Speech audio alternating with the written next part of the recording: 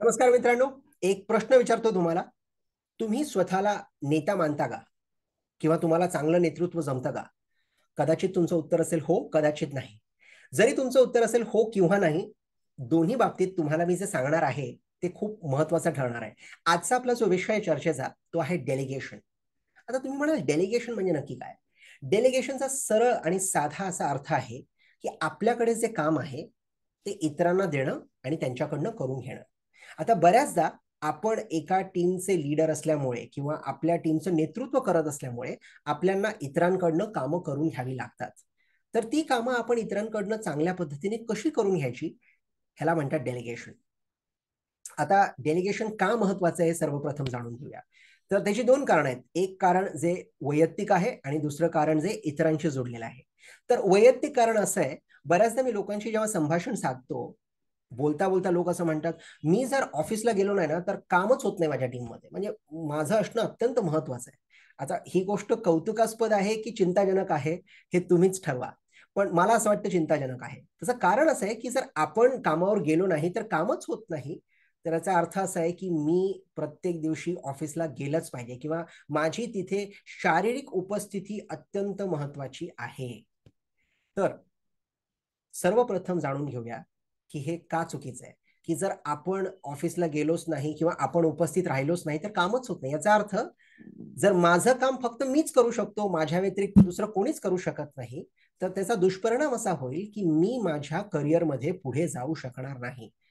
किंबहुना बऱ्याचदा मला संधी देखील मिळतील पण माझ्या टीममध्ये माझ्या अपरोक्ष कोणीही ते कार्य करू शकत नाही म्हणून मी पुढे जाऊ शकणार नाही. तर सर्वप्रथम असं होऊ नये यासाठी आपल्याला आपल्या टीममध्ये ही गुणवत्ता वाढवावी लागेल की माझं काम इतर लोकही करू शकतील. दुसरं कारण जे इतरांशी जुडलेलं आहे.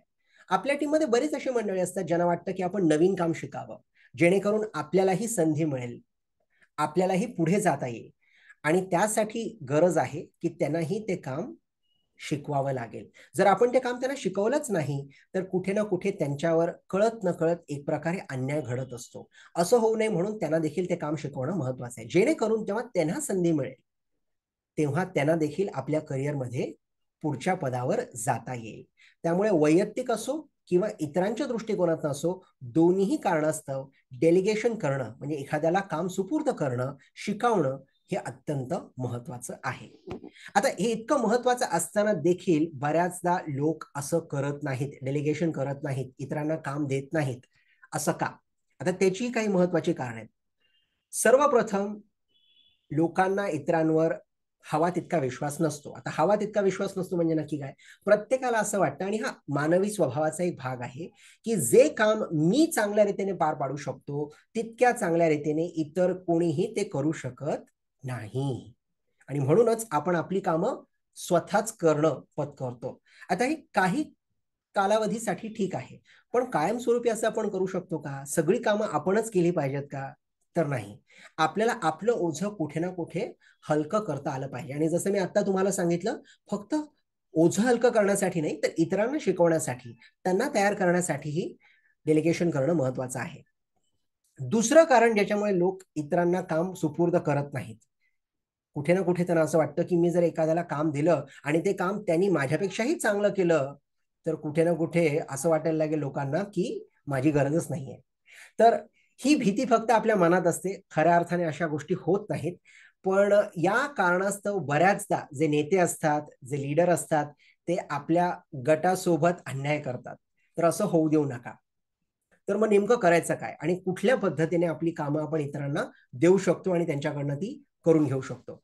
तर काही महत्त्वाच्या सूचना आहेत ज्या मी तुम्हाला सांगणार आहे. याचा वापर तुम्ही करा जेणेकरून तुम्हाला त्याचा भरपूर फायदा मिळू शकेल आणि तुमच्या टीमलाही नक्कीच त्याचा फायदा होऊ शकेल. तर काय नियम आहेत जाणून घेऊया. सर्वप्रथम इतरांना जेव्हा कोणतंही काम आपण त्यांच्यावर सोपवतो मोठी कामगिरी त्यांना देऊ नका. छोट्या कामापासून सुरुवात करा. याचा अर्थ काय? की एखादं काम असं असेल ज्याला करण्यासाठी दोन आठवडे लागणार असतील. तर असलं काम देऊ नका. सुरुवातीला असलं हलकं फुलकं काम द्या जे करण्यासाठी दोन ते तीन तास लागतील. आता याच्यामुळे काय होईल? ह्याच्यामुळे तुम्हाला पटकन कळून येईल की समोरची व्यक्ती ते काम करू शकते की नाही. आणि दुसरी गोष्ट ही पण ठरेल की जेव्हा आपण छोटं हलकं फुलकं काम देतो आणि समोरची व्यक्ती ते काम पूर्ण करते तुमचाही आत्मविश्वास वाढतो त्या व्यक्तीबद्दल आणि त्या व्यक्तीचाही आत्मविश्वास वाढतो की हे काम मी करू शकतो किंवा करू शकते. त्यामुळे कधीही जी सुरुवात असते ना ती अगदी एका लहान बाळाप्रमाणे छोट्या पावलापासून सुरुवात करा. दुसरी गोष्ट एखादं काम फक्त एकाच व्यक्तीवर त्याचं भार किंवा ओझं टाकू नका. ते काम देखील तीन ते चार लोकांमध्ये त्याचा वाटप करा. त्याचा फायदा काय होईल? त्याचा फायदा असा होईल की समजा एखाद दिवशी एखादी व्यक्ती आली नाही तर तुमचं काम कुठेही थांबणार नाही. काम चालू राहील. कारण ते काम तुम्ही तीन चार लोकांमध्ये त्याचं वाटप केलेलं आहे विभाजन केलेलं आहे. दुसरी गोष्ट फक्त एकाच व्यक्तीला सगळं काम जर तुम्ही शिकवलं तर उद्या उठून ती व्यक्ती तुम्हाला सांगू शकते की मीच आता राजा आहे मलाच सगळं येतं दुसऱ्याला कोणालाच काही येत नाही. त्यामुळे असं तुमच्यासोबत होऊ नये. तुमची पिळवणूक कुठेही होऊ नये म्हणून एक काम तीन ते चार लोकांना जर शिकवलं तर तुमच्यासाठीही चांगलं आणि त्यांच्यासाठीही चांगलं. तिसरी महत्वाची बाब की ज्या वेळेस तुम्ही एखाद्या व्यक्तीला नवीन काम देणार आहात तत्पूर्वी त्या व्यक्तीशी संभाषण साधा. त्या व्यक्तीला सांगा की मी हे काम तुम्हाला देणार आहे. तुझी काय इच्छा आहे? तुला जमेल का? नाही जमणार का? तिची भीती जाणून घ्या आणि त्याच्या अनुसार त्या व्यक्तीला ते काम द्या. बऱ्याचदा काय होतं की आपण एखाद्याला एक काम देतो आणि आपल्याला वाटतं की ही व्यक्ती काम करू शकेल. पण जबाबदारी देण्या अगोदर त्या जबाबदारीबद्दल समजावून सांगणं त्याला पाठिंबा देणं आणि त्याला सांगणं की तुला कुठे जरी गरज वाटली तरी मी आहे.